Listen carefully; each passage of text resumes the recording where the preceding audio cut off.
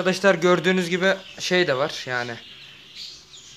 Bunlardan arkadaşlar bunlar sadece burada görsel olarak daha daha fazlası da var. Bu şekilde.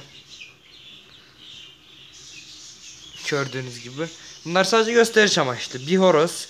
Şu arkadaşlar erkek, şu da dişi. Erkek dişi ayrımını nasıl yaptığını gösteririm arkadaşlar. Şu paletlerinden belli olur. Ondan sonra gaga yapısından, vücut yapısından, kuyruk yapısından. Kanala abone olun. Like atmayı unutmayın. Bir video daha gelecek.